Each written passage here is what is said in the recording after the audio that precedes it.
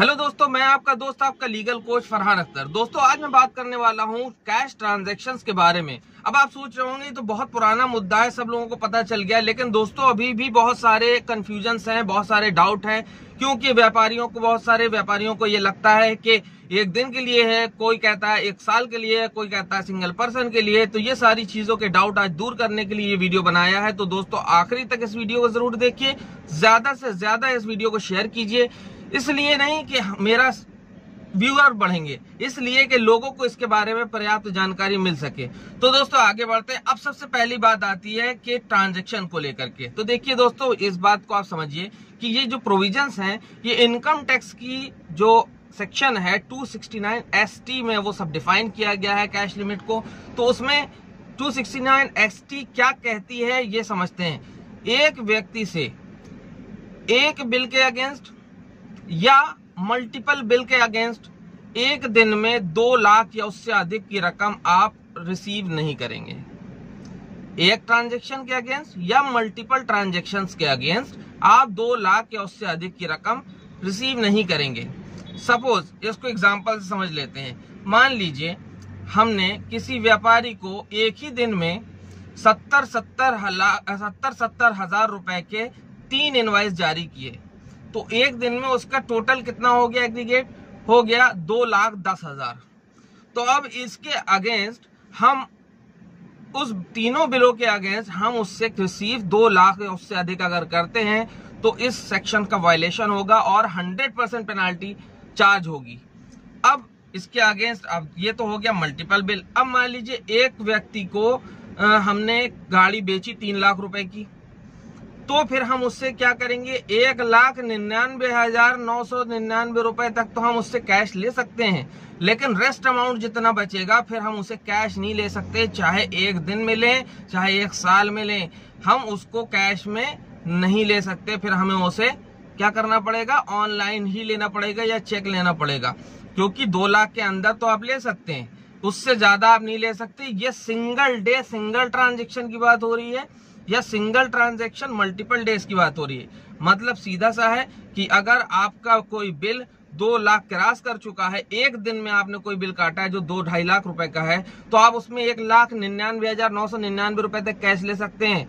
उसके बाद का जो भी अमाउंट है, वो आप चाहे छह महीने बाद लें, या दो दो हज़ार करके भी लेना चाहें, वो आप नहीं ले सकते, वो आपको चेक या निफ्ट के माध्यम से आईएमपीएस से ही लेना पड़ेगा। ठीक है, नहीं तो वायलेशन हो जाएगा। और अगर आपने सत्तर सत्तर हज़ार के चार पाँच पर्चे काट दिए एक ही दिन में तो उसे भी सिंगल ही काउंट किया जाएगा। उसके लिए भी आप अलग अलग नहीं ले सकते। तो ये तो बात आ गई आपकी खरीद और बिक्री के में। अब, अगर आप किसी भी धार्मिक संस्था को या किसी ट्रस्ट को डोनेशन देते हैं तो उसकी लिमिट दो हज़ार रुपए है। दो हज़ार रुपए या उससे ज़्यादा का आप कैश में दान नहीं दे सकते, उसको आपको ऑनलाइन पे करना पड़ेगा। नहीं तो 269 एसटी सेक्शन का वायलेशन होगा 100 परसेंट पेनाल्टी है। तीसरी चीज़, आप किसी से लोन लेते हैं कैश में या प्रॉपर्टी संबंधित कोई पेमेंट रिपेमेंट करते हैं या लोन का रिपेमेंट करते हैं तो इसके लिए जो लिमिट है वो कितनी है? बीस हज़ार। बीस हज़ार या उससे अधिक की रकम को ना आप कैश में लोन ले सकते हैं, चाहे वो सिंगल पर्सन चाहे मल्टीपल पर्सन से। ना उसका रिपेमेंट कर सकते हैं।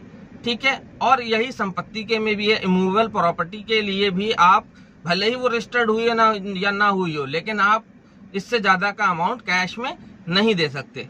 तो एक तो बात हो गई ये, अगर आप अपने जो लड़के आपके यहाँ काम करते हैं, या जो आपके यहाँ वर्कर्स हैं, उनकी सैलरी की बात आ जाती है, या आप कोई भी एक्सपेंडिचर करते हैं, कोई भी व्यय करते हैं, ठीक है? या आप मान लीजिए आपने दुकान में कोई काम करवाया, उसका पेमेंट आप करते हैं तो ये सारे पेमेंट बिज़नेस एक्सपेंडिचर हो पर्सनल एक्सपेंडिचर हो, ये अगर दस हज़ार रुपए क्रॉस कर जाते हैं, दस हज़ार या उससे अधिक आप कैश में नहीं दे सकते। उसको आपको ऑनलाइन या चेक या एनईएफटी के माध्यम से ही देना पड़ेगा। तो आपके वर्करों की सैलरी भी इसमें आती है। आपके दुकान में जो छुटपुट ठीक मरम्मत काम चलते हैं या और भी बिज़नेस के एक्सपेंडिचर हैं कैश मेमो छपती हैं या और स्टेशनरी उसका भी जो पेमेंट है, वो दस हज़ार रुपए या उससे ज़्यादा आप कैश नहीं दे सकते। उससे अंदर आप कैश दे सकते हो। दस या उससे ज़्यादा हज़ार रुपए अगर हो तो कैश नहीं दे सकते। नहीं तो आपके ऊपर हंड्रेड पेनाल्टी चार्ज होगी। टू सिक्सटी का वायलेशन माना जाएगा। इसके बाद अब बढ़ते हैं आगे। अगर किसी रिलेटिव से हम गिफ्ट लेते हैं, या किसी के रिलेटिव को गिफ्ट देते हैं तो हालाँकि इनकम टैक्स में यह कहा गया कि आपका जो रिलेटिव है, वो आपसे गिफ्ट का आदान प्रदान होता है तो उसे एग्ज़ाम माना जाएगा। लेकिन अगर उस केस में भी आपने किसी रिश्तेदार को दो लाख रुपए, उससे अधिक का कैश दिया या लिया तो आप वायलेशन में आ जाएँगे 269 एसटी सेक्शन के और आपके ऊपर 100 परसेंट पेनाल्टी चार्ज होगी। लेकिन मान लीजिए आपकी लड़की की शादी है या आपके घर में कोई फ़ंक्शन है, आपने अपने दो क्लोजेस्ट रिश्तेदारों से आपने एक से डेढ़ लाख रुपया लिया और एक से आपने एक लाख रुपया लिया तो टोटल तो बन गया ढाई लाख। लेकिन यहाँ पर बात, ये आज समझ लीजिए कि यहाँ बात सिंगल पर्सन की हो रही है, हर टॉपिक पे जितनी भी चीज़ें मैंने बताई हैं, वो सिंगल पर्सन और सिंगल डे की बात है दोस्तों। समझ रहे हैं ना? आपका सिंगल डे में आपने दो पर्सन से लिया है, ये एक से डेढ़ लाख, एक से एक लाख तो वायलेशन नहीं है। अगर सिंगल पर्सन से लिया होता तो वायलेशन होता। तो बात आपको समझ में आ रही होगी। अब मैं इसको समराइज व्यू में आपको शॉर्ट में बता देता हूँ। किसी सिंगल व्यक्ति से सिंगल डे में एक ट्रांजेक्शन के अगेंस्ट या मल्टीपल ट्रांजेक्शन के अगेंस्ट एक दिन में दो लाख रुपए रिसीव नहीं कर सकते, दो लाख या उससे ज़्यादा। मल्टीपल ट्रांजेक्शन या सिंगल ट्रांजेक्शन दो लाख या उससे अधिक रिसीव नहीं कर सकते सिंगल डे में। लेकिन अगर किसी अमाउंट कोई ट्रांजेक्शन आपने किया है, जिसका दो लाख रुपए या ढाई लाख रुपए का है मामला तो आप उससे एक लाख निन्यानवे हज़ार नौ सौ निन्यानवे तक रिसीव आप सिंगल डे में कैश कर सकते हैं। लेकिन रेस्ट अमाउंट जो भी बचेगा जो दो लाख क्रॉस कर रहा है या छू रहा है तो वो आपको फिर उससे ऑनलाइन मोड से ही लेना होगा। इसके अलावा रिलेटिव से आप सिंगल पर्सन से सिंगल डे में दो या उससे ज़्यादा लाख रुपए आप न ले सकते हैं, न दे सकते हैं, नहीं वायलेशन हो जाएगा। इमूवेबल प्रॉपर्टी कैश लोन का रीपेमेंट या कैश लोन लेना, ये बीस हज़ार रुपए से ज़्यादा का नहीं हो सकता। बीस हज़ार या उससे ज़्यादा का आप करते हैं तो वायलेशन में आ जाएँगे।